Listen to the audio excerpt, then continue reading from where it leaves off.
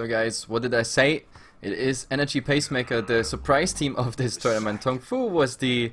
I don't know, everybody said Tong Fu is gonna take this tournament, they looked so good in a round robin. Uh, Energy Pacemaker had a horrible second day, they, they almost even lost their spot here in the top 4 in the tiebreakers, but then they, yeah, they just crushed Newbee, went into a best of three with Newbee, got their crushed, and then suddenly came back. And I think on this like positive karma, on this positive wave, they keep on rolling because now they just beat the favorite of this tournament, Tong Fu. Still, it's a best of three. Tong Fu needs two games now to seal the deal here, pretty much. But Energy Pacemaker, they're looking good. My name is Heflamoke. You're here watching Hefla TV, and with me is Mr. Blakadder, our British force in Hefla TV, pretty much. He just woke up and supports me here with everything he can do. So let's hop into this draft and let's see where the Chinese go with their draft this time. Well, to start out with, Energy Pacemaker helped themselves to a Leshrac once again, and we've seen how strong this was in game number one. I'm honestly surprised that Tongfu have let them have this a second time. Well, I mean, there, there is not much option around it. That's that's the problem. If you ban out the Leshrac, then you get the Storm Spirit, for example, by EP, or you might as well just get uh, the Queen of Pain against you. I mean, okay, the Leshrac was really an amazing force last game. I have to admit that. Um, it was more or less also the synergy then that old chicken caught up so much, and the Leshrac on the sidelines more or less like under the radar got that much farm and everything out of it. And his split push and his aggressive playstyle with the BoTs and then getting the kill on the gyrocopter that pretty much really broke Tongfu's neck there. They're gonna go for the gyrocopter this time, which means uh, the Shadow Fiend would be another option for Tongfu, unless of course Energy Pacemaker says, no, this time we go with these cores and we ban out uh, the Shadow Demon, uh, Shadow Fiend, for example. Too many shadows today, I'm confused. Well, in this case, we've got Leshrac and Gyro up against the Queen of Pain. So, this is something we mentioned in the first draft. We didn't see the Queen of Pain picked up at all, and it wasn't banned either, versus a very low health, squishier lineup. Now, Gyro, before he gets, say, a BKB or anything else to increase his strength, has that problem, and so does that Leshrac, especially before the Bloodstone. Queen of Pain can certainly burst down these targets, and then you've got to throw on top of this, you've got Clockwork to throw a cog in the mix, and really mess up the positioning within a team fight. So, hmm. Yep. Based definitely. on the first two picks, this, this seems to be much more in Tongfu's favor draft wise. But bans, well, second phase we've got Lina, AA, Spirit Breaker, and Dazzle banned out, and a Rubik for Tongfu. Now, yep. Rubik stealing a cooldown, probably the best spell he can get other than Split Earth right now, but we get the Shadow Demon once again for EP, which, well, Leshrac setup sounds about right. So what's actually missing now is an Earthshaker in this mix. Um, that's also like one of the highest buns and picks here in this tournament so far. Everything else, like the the Undying Tusk, Spirit Breaker, they're all banned out as well as the Storm Spirit. So Shadow Fiend and Earthshaker, these are pretty much the two that are uh, top of the list of the heroes picked. Everything else is either picked or banned already. So I'm looking forward that we get an Earthshaker and well, the Shadow Fiend would in theory, I guess, fit Tong Fu unless they just don't want to have this. I mean, Clockwork, Shadow Fiend, there is synergy there. Uh, Queen of Pain later into the game, also transitioning into uh, more or less right clicks, but yeah, they go for Juggernaut as their physical core, ignoring completely the Shadow Fiend, which is very interesting to be honest. I guess they just don't want to have the same situation Old Chicken was in the last game, where he had to face a super aggressive Viper with an Undying decay spamming you, so he had to go in the jungle, because if you have that same situation, well, you're not sure if you can really come back just as Old Chicken did it. The Juggernaut, however, was once already picked today, which was a complete disaster. Actually, Energy Pacemaker, I think, picked him in their first game against Newbee, and, well, uh, it was, I don't know, like, you barely had the feeling that this, this hero is even in the game. It felt like a 5 and 4 game all the time. Like, nothing really worked out in in that game for the Juggernaut. So let's see if Tong Fu can, can somehow build this Juggernaut stronger with more presence than Energy Pacemaker played it earlier. The thing with the Juggernaut, you can play him in a few ways. You can get the many points in the healing ward early and look to push towers, which sure you got a Queen of Pain who can be aggressive and a Clockwork, but Rubik's more of a defensive support. You don't have a jungler like a Chen or an Enchantress which can certainly force towers combined with a Juggernaut. or you can go with the high crit points and just look to abuse the Omni Slash. But then again, you're against a Pugna who's going to decrep. You're against a Shadow Demon who can dispersion uh, disruption the target that gets Omnied. I'm not too sure about this Juggernaut, in all honesty. It it doesn't feel like it's going to really do much in this game. He fell off in terms of popularity for pretty good reason. And then you've got to throw in the Leshrac. Sure, Juggernaut versus Leshrac. Juggernaut can avoid most of Leshrac's damage, but yeah, and Energy Pacemaker, they, they go for a push game here. This really looks like a push game. You have the yeah. Gyrocopter back up, clearing out waves like nothing, uh, especially on top of the Leshrac. The Puck now throwing in the Nether Blast and Leshrac with a Diabolic Edict. This is a, a very, very deadly combination. At the moment, if I look at it, um, we do not have much of a counter push. I mean, Queen of Pain takes a while till there's a Aghanim's Scepter where she can spam a Sonic Wave. Other than that, we have, what, a Fade Bolt, uh, maybe some rocket flares. Um, stopping that is, is quite hard, especially if Energy Pacemaker they have some support items. So if we get uh, Arcane Boots up, if we get uh, a mech up, on one of those targets. Pugna might actually be the mech carrier in a fourth position, getting it together. Not sure how fast, but that's like the question. If they get some fast tier 1 towers where he might even get the last hit, then this is definitely possible to punch through. Let's see. Uh, Energy Pacemaker, to be honest, um, as stupid as that might sound right now, but they're not a pusher team. They're not a team that has like the the early game pushing advantage. Like other teams, they they they, at least me as an observer, I have a better feeling with those teams. Energy Pacemaker is really that team that has a nice big picture of a game. When can they come back? They proved it twice already that like any, the enemy enters your base, gets your racks, and the next thing you do is win the game that's what Energy Pacemaker can, can really do very well. About the early push, well, they have to prove me wrong on this one now. Energy Pacemaker, from what we've seen, tend to do better in the late game. And they well, they've been playing from behind in the two that I've seen this morning, but they can certainly take games late. Early, it'll be interesting to see what they can do. But they've got they've got the Edict, they've got Nether Blast, Gyrocopter can push towers pretty well, and that's what I was looking for—a Keeper of the Light to really keep the NG Pacemaker team out. It's also going to feed Rubik a good chunk of mana, more so than the Jugger, because the Jugger doesn't really oh, and there it comes, the counter push. Look yeah. at this.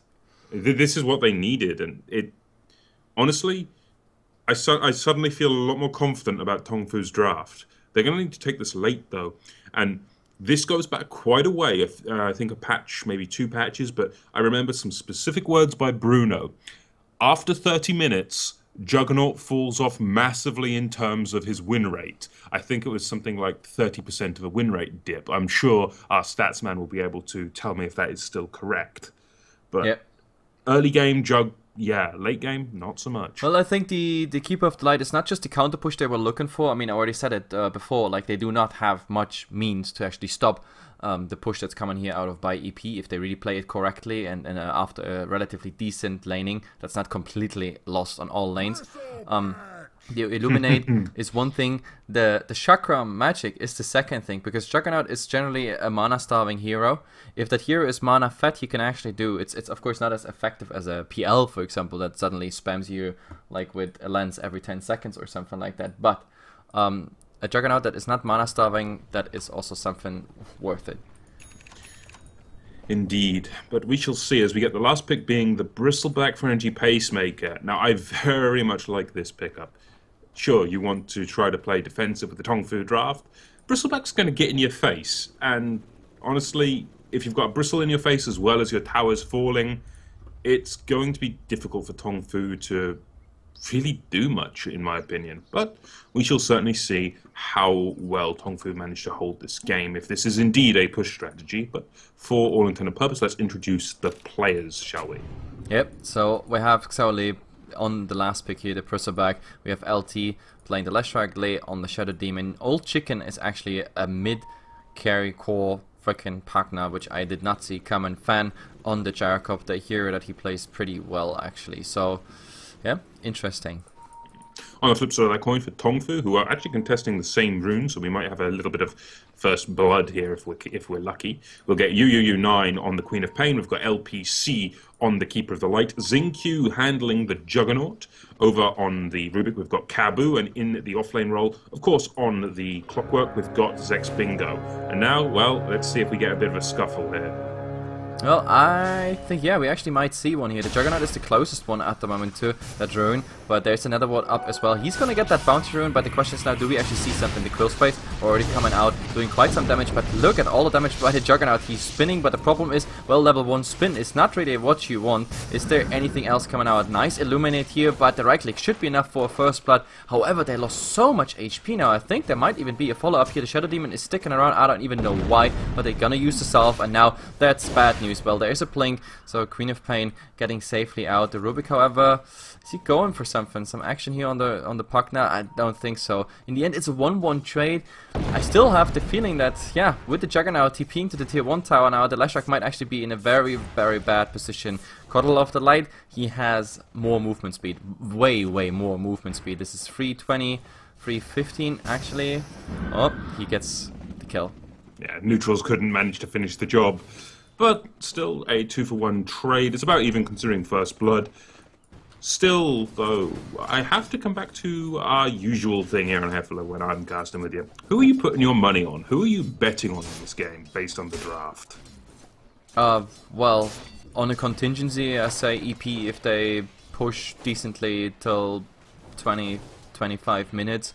If they do not get that pushed up, then Tongfu will, will just erase them from this map pretty fast late game.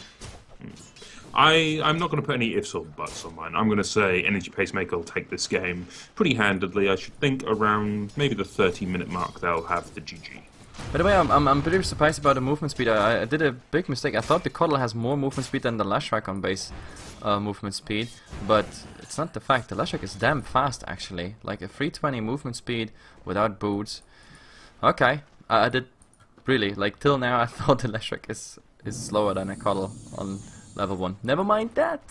The difference is only five, so Yeah. it, either way, you're not going to escape if you're point blank. But now, well, Rubik forcing the defensive telekinesis not to die to the bristle of the uh, the Leshrac, but certainly in this case, the way these lanes have shaped up, I'm wondering how much the bristle's actually going to get in this offlane role, considering we've seen Leshrac relegated to the support in this game, not core.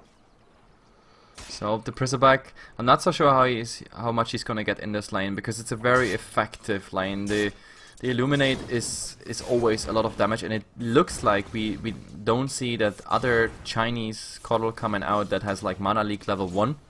He's going really for the Chakra Magic plus the Illuminate, which is of course something you can set up into a Telekinesis, holding him in place, and then uh, we already have the level 1 Juggernaut. At the moment he's holding back on his skills, like he doesn't decide what is he going for.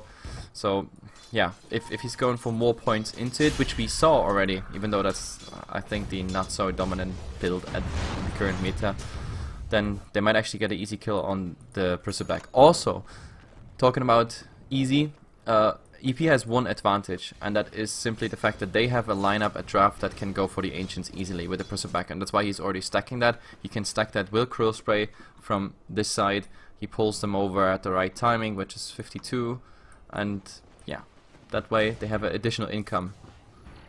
Well, two points stats on the Juggernaut, so we're going to be looking, I think, for a good amount of right click going into the Omni Slash. He wants the extra stats just so he can Omni as well as spin, or Healing Ward in this case. Yep, oh, I, I didn't even see it. I, I thought he's actually keeping the No, points. it- Yeah, he went not. for It- stats. it's an older build with Juggernaut. You'd see two point stats, usually with many, many more points in Blade Fury, but that's not really needed or done these days very much. Where you see multiple points in Blade Fury. Yeah, no, I mean that's that's that's fine as well. At the moment, he went for that one point in the healing ward, like the the value point, and that's it. Well, the keep of the light. I think he was on a warding mission. He wanted to go in there and just ward, but oh, the illuminate directly in the uh, escape path and easy going, easy kill. Um, the keep of the light, not uh, actually, yeah, he put that was the early ward, and he's is he going back up there for that ward? He still has it in the inventory, but I think it's also better to just put a put a sentry in there. I don't know. Um, I'm pretty sure they want to block that camp soon. Otherwise, they yeah they have to deal with their Bristleback sooner or later taking that stack. Well, if they don't, if they don't block it, they're going to have big problems when that uh, Bristleback gets a sudden burst of gold. And in this game, I should think we might see the uh, mechanism Bristleback build if he gets the gold for it. Considering the Pugna, sure we could see a mech on a Pugna, but I think there's a smoke seeing more gang, stats. actually. Look at this, Okay. and the Shadow Yeah. Demon might actually be the one who suffers there. There should be a telekinesis into Illuminate. Nope, there is the disruption already. He, he's going in that direction, and telekinesis into the Illuminate. Well, the clockwork, if he gets the rocket, yeah, that's that's easy. I, I was about to say if he gets the cogs, then it should be easy kill, but he just went so fast down. Easy problem. No, easy kill, no problem for him that way around. And they might actually rotate here in the mid. At least there is a new ward coming up. Um, like we have two wards now, one looking here, and there's the Sentry ward. Rubik actually getting quite some damage uh, on the way, but still, it's sooner or later they're gonna clear this. Well, as it stands in this game, 4-1 the way of Tongfu. Tongfu looking to, again, really control that early game, which is something they seem to do a lot better than NG Pacemaker. But can they really convert this into a mid-game lead is my wonder, as now you've got Tong Tongfu, well, UU9 trying to go very aggressive on that mid lane, but Old Chicken just responds with that life drain and all of that aggression from the Queen of Pain for naught. Yeah, that was completely owned. Like the Queen of Pain thought, okay, I'll bait him into killing that ward, and then really gonna do a lot of damage. But he is level six, and the life drain is just so powerful on the Queen of Pain. And even now, he could just do exactly the same. He doesn't really go for it. Um, what are they waiting for? No, there's the life drain. He tried to kill that nether ward. Now they do it. Well, it's an additional CS, but nothing else is gonna happen on this one. This Leshrac uh, in a fourth position, also too late there to actually put the lightning in.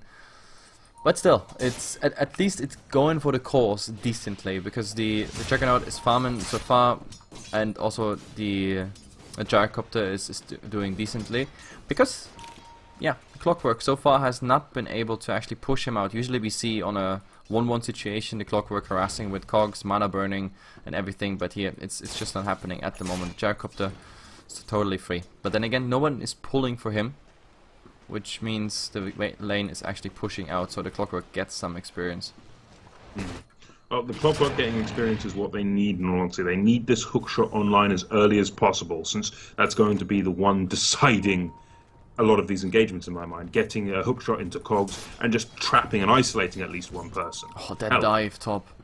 Jesus Christ, so many going for that tier 1 tire, but they're not gonna find that clockwork. He already ate his way through. Now he's juking around. He could actually trap someone here, and with some rotations, they might even be able to kill something. Old chicken rotating in. There's another Blastus tier 1 tower.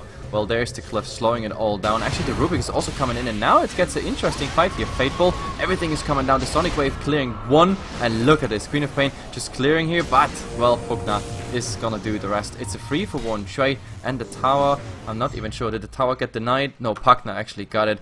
But still, it's a it's a four for one trade with a tower just on top of it. That's not really what you wanted to do. No, it isn't. that kind of deficit there for Energy Pacemaker, losing three heroes on the top lane and the Bristleback on the bottom lane to the Juggernaut. That that just does not happen when you are going with a good push strategy. You can't afford to just split your forces like that. If they had put that Bristleback on the top lane, maybe they'd have forced out that Quap a bit more and stopped her being as aggressive as she was. But the scream from that Quap, followed by the uh, the Sonic Wave, sorry, followed by the scream, uh, that was just beautiful on that top lane. Absolutely. I mean, Tongfu is, is totally happy with that. Giving a tier 1 tower away for, for this kind of trade, that's okay-ish. And, well, let's see. This Queen of Pain, oh, very aggressive. There's another blast definitely flying on him. He has no... He has no playing, so you really gotta be careful. The telekinesis is definitely helping him there, getting additional damage. The the Bristleback, did he actually clear his camp? No, he's still on that on the ancient mission here. While the Juggernaut, well, he kind of entered the jungle. He has now the Morbid Mask.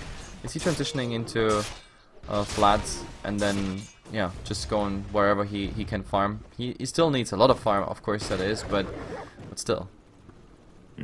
I'd very much like to see a Vlad's on the Juggernaut. I think that might be one of the better pickups considering their team. Sure, the armor's going to be nice for everyone, but the lifesteal on the Jug as well as on some of the Queen's damage as well, since range heroes can now do ever so nicely benefit from that uh, lifesteal. It just makes Vlad's an all-around good item, Yep. even for a four range hero team or three range hero team. It, it just such a nice change in this patch. I'm still curious when when they're gonna rotate into these ancients. I'm pretty sure it's it's gonna happen in like like two three minutes when the Gyrocopter maybe leaves his lane. At the moment he has three points into the flak cannon. I'm pretty sure he's gonna be part of it. Um, well, it could be either the Bristleback or the Gyrocopter or both at the same time. That's something well, we have to see what's actually happening. The gyrocopter, well, he goes into Helm of Dominator at this point. The helm is already there, giving him some HPS and some armor, which he also could need for the fight. Still, uh, right now, at least, there's also a lot of magic load coming up. Oh, Pugna, that might be a bad position there. Uh, he gets the rune, but he's getting blown up by the Queen of Pain. That's the good part of the Queen of Pain. Against the HP pool of a Pugna, you can really blow him up in seconds. Yeah, that that was that was half a second. He he just exploded. There was nothing he could do. And we do have a, I don't believe I'm saying this, Mask of Madness for the Juggernaut. Now, I know this is a lot more normal than, say, Dagon Brood, but against what is quite a magic heavy team, this is an interesting choice from Xingqiu. He may, of course, pop that Mask of Madness during the Omni and just look to burst people down within the Omni Slash, but Mask of Madness, the damage increase that you take, it, it's not negligible by any stretch of the imagination. Oh, top, there's a nice go here. Singled out Clockwork, nothing he can do. Nice disruption, call down, and the Rocket Barrage. Level 4, directly into his face. Everything just focus on him, full damage value. That's a nice, easy intermediate kill. Just a nice little intermezzo.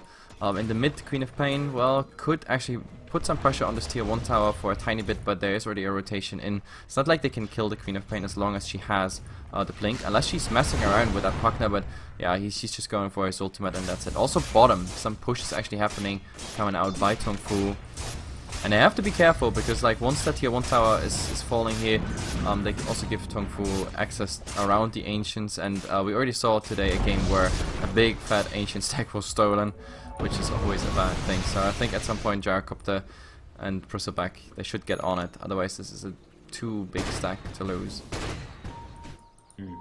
Well, the stack, if if they lose that, is going to be very detrimental, and it is pinged out. But Bristle, he can't really take the stack yet, not without quite a bit of help. This is this is one. he needs help at this point. Yeah, yeah. he does. At least to salve, like to go uphill, salve really fast up, and then keep the kill stack somehow, or someone tanking in between while he's salving. Um, just standing there, like taking the hits at the moment, waiting for the automatic procs. Now it's it's not gonna happen. Not on on the level two uh, back. Hmm.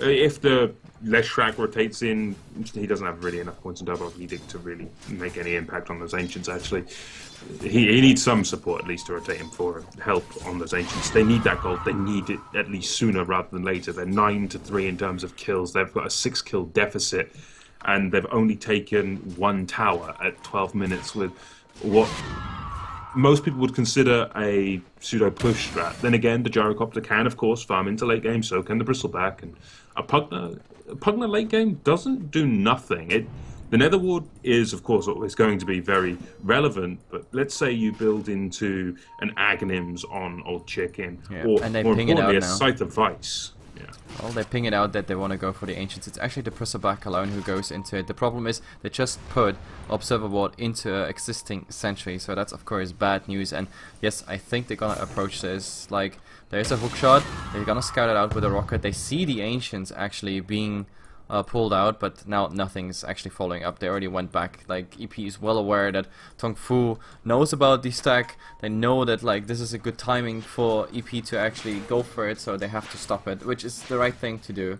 Um, mm. As in the crucial items, is there anything coming out? I mean, we already talked a bit about the Mask of Madness. That's coming out for for the Juggernaut. Um, as a first item against this call, well, sure, uh, a bit of a question mark, but it's the dominant build even now. And oh, Gyrocopter against Juggernaut. There's the Mask of Madness actually being popped, the call down. and now the question is, do we see enough? Yes, there is absolutely enough. So he's going down. Lucky bounces or not enough creeps. Not enough creep support for the Gyrocopter. Hmm. Well, that's the thing. Omni Slash, yeah, I caught alone anyone. Oh, in mid. Nice little hookshot here on the Leshrac as a single target. He gets the full battery assault in his face as well. Even the Pugna can't really do anything. The damage on him is very, very limited. Mm. With that, uh, with the Juggernaut, by the way, looking at his items right now, do you think we're going to be seeing the Manta next on him? Maybe he just just keeps the the casual Yasha and then goes into something else. We have to see. Um, for the gyro, I'm, I'm, not even sure. Is it really worth to, to go for uh, for BKB, for example? What is it? it Kind of depends what the Queen of Pain is going for. With the two Nulls Talismans, we already saw that of U9. uh, coming out before that Ogre Club, it could still be a BKB, it could still be a Gundam Scepter, but then usually you would go for a point booster first. We have a recall, actually. The Keeper of Light brings the Juggernaut into the mid. Is this like some call for push? Or what is this fun? I think they're going to set up to push down this tier one. I mean, take a look. You've got Keeper of the Light who's maintaining control of this area. You've got Rubik pushing the lane with the clockwork. This is this is going to be a tier one, and Juggernaut's just going to farm the ancient stack, and it's a double stack, so he's going to get a nice bit of gold there. Still, UU9, he's ready to jump in and ult anyone who comes to defend this one. Deny attempt? No, doesn't quite manage it. Queen of Pain picks up the kill on the tower. There's another ward down, so they don't really want to scuffle too much, but still, a tower and more farm on the Juggernaut through ancient stacking. Yeah, uh, top they, they pushed a bit, at least towards the tier 2 tower. The creeps just barely reaching the tower, and the Juggernaut even interrupts the ancient farming just uh, to defend this out. So Tongfu, they really, they really know that like if EP starts to push or wins a fight and then push that like the push power behind EP is so strong that they really have to defend every single point on, on Siege they can. But yeah, it's, it's not really happening. At the moment, the Bristleback is now going for the Ancients again. Uh, and this time it seems like they're uncontested. The Clockwork would be in a position for a hook shot, but at the moment he's alone. There is, well, the Keeper of the Light joining him, but no one else is really moving towards it, so I think those Ancients, yes, they're, they're going down. At least the majority of them is going down. Well, Illuminate, saying hello. One already being set up, and it's the rest converging. I don't think they, they move. It's really just them showing off, well, Keeper of the Light gonna do some illuminate, but not even gonna hit anyone. Hmm. Well, they're sieging with the rocket flare and with the illuminate. They're just trying to deter the bristleback from taking his stag, but bristleback wants this damn stag. Yeah, well, they they really want to. Well, it's it's what it's I've been talking about so so yeah. much. Uh, it, it really yeah. is about damn time that they finish off that stack, and now we've got illusions of the Juggernaut rotating around, and going to certainly at least threaten. That illusion is actually quite resilient. Jesus Christ, good for 300. Getting the, the Bristle actually quite low because he took it in the face instead of in the back. So, 11 and 3. How, how is the advantage of Tong Fu? Man, that's that's actually a lot for 17 minutes. 7.5k, no sign of like, I know, a call for, for crazy pushes on EP. The sustain items, are they actually there? We have only one Arcanes, we have no mech, uh, just five stakes pretty much, and the urn. That's that's all we got as in like somehow sustaining a push. That's, I don't know. We have the Shadow Demon being founded by the Queen of Pain. There is a Sonic Wave, but uh, he's not fast enough on the Disruption. Instead, well, they find the stone and the Lightning on the Queen of Pain, but it's just way too late. She went, by the way, directly into a BKB, so no Aghanim's Scepter. She really wants to go and be prepared against Pugna, because Pugna is really the one, besides the Gyrocopter, who does the most damage on her. Mm most importantly in that fight, actually, Kabu stole Split Earth. On a Rubik Split Earth instant cast, that's going to be very impactful in the next team fight, in my opinion. But the you're talking about Aghanim's options for, say, the Queen. She got got BKB now, maybe go for the Aghanims next, but Aghanims wise, we're seeing it rushed on the Keeper of the Light. When LPC gets this Aghanims up, I think we're going to be looking to push with a lot more certainty from Tongfu. Yep, definitely when you said it, like right now Tong Fu, that's that's the funny part. I mean, I just supported it by the craft. They already have advantage. The advantage is growing and not not slowly. Like this is something that goes really really fast and, inspires out of control. Right now, I don't even think they need to press a fight. They don't need to push. They still do it because well, you got a level two Omni Slash here. You you know you might as well just do it. Uh, the Pacific at the moment supported by quite a lot of creeps, but they don't even need that. He's just Mask of Madness hitting him down. This is just two points in Blade Dance, but pff, well, who needs who needs any Omni Slash there? Well, this is the one nice thing about the mask that I will grant you. If you have a good pick-off uh, team where you've got, say, a Rubik rotating with that telekinesis in this case, and you isolate one person, that mask is brilliant. In big 5v5 engagements, though, mask can be more of a detriment than a blessing. Yeah, but in this case, I think uh, in this we case, reach a point where the Juggernaut is so farmed because the next step is going to be a, a, BKB that he's he's not going to care. He's really not going to care. He's, he's going in. If he's going low, uh, he will just go for the Omni Slash and then, then try to somehow get out of this, and that should be just fine. Now he's pushing for the tower. He's doing ridiculous amount of damage here, and well, is there Omni Slash? No, he's gonna just go for this. But the problem is the Omni Slash is coming out. Everybody knows it's coming out. Never mind. He's like going for the spin just TPs, but oh, that, Oh, Oh, that's that bad that- that's so cocky. Uh, that is that is quite a degree of bad manner. Uh, I, I, I suppose there's nothing they can really do Oh, to mid- oh, hook shot, get mid hook shot, and they're going to try to bring down and successfully do so on the Pugna. Yeah, Pugna blown to pieces within seconds. This was to Rubik. Uh, was this even Fade Bolt? Yeah, Fade Bolt split Earth. Like his HP just vanished into nothing. That's that's also the downside of, of this Pugna. At the moment, he has what? He has bracers and a magic one. That's all he boosts in his stats. So uh, if you find him solo, then he's just dying. Like Gyrocopter versus still invisible Juggernaut, with of course still the the Omni Slash and well, okay. He's actually TPing out and wait, they removed the the mini stun right from Omni Slash, so it would not even have interrupted it. Mm. Uh, Yes.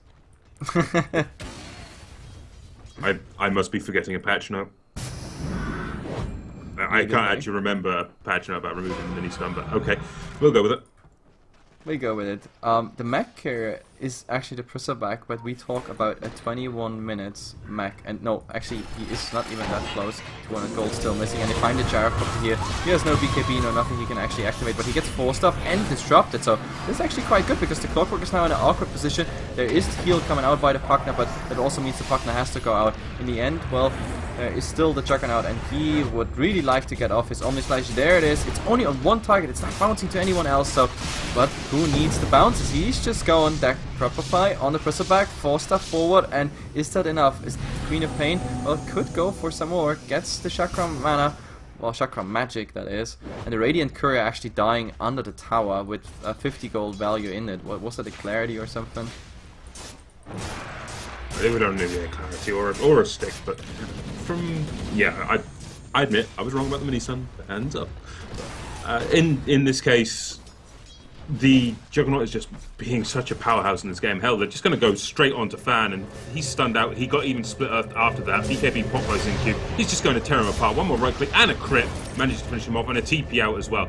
They can't stop the Juggernaut. And this is one of the things I was going to mention before when we saw that question mark and a little bit of BM. What do they have that can stun through a BKB or a Omni Slash? Yep. No, that's I don't know. You, There you is can't nothing. really do anything, especially now that the BKB comes up. He has two sources of immunity. Uh, you barely have anything piercing. You do not have any source of mini stun whatsoever. Even if the MKB would come out on the gyrocopter, it's a magic stun. Therefore, you cannot interrupt it.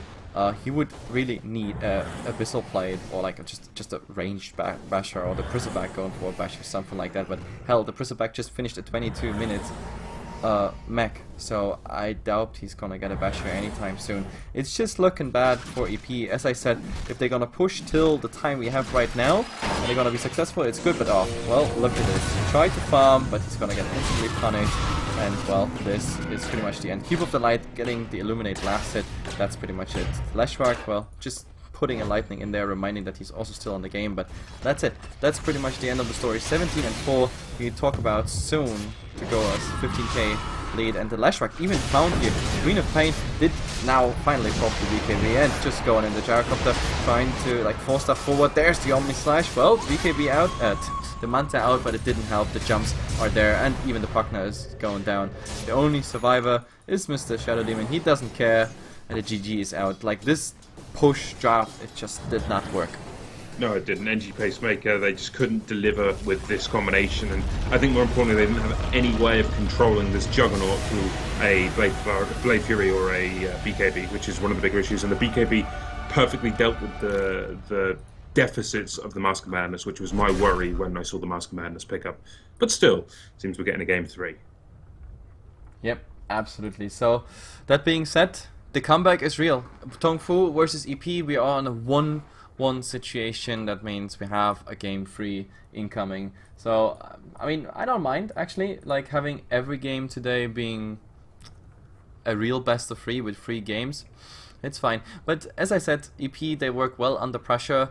Maybe they just, I don't know, they just didn't have the the punch to finish it in, in a 2-0 or Tong Fu is just too good and they just gave accidentally the first game away. We were gonna find out in the next one uh, because the, the, the third one is the lucky charm for either team. We are back guys, 10 minutes, some music, some ads and yeah, the decider. who actually gets into the grand finals because this is already the winner bracket final. So there is not anything coming in the winner bracket. We have done two more games in the loser bracket. One is actually playing at the moment on HeflaTV 2, guys. So check that one out. Yeah, that's pretty much it. Be right back.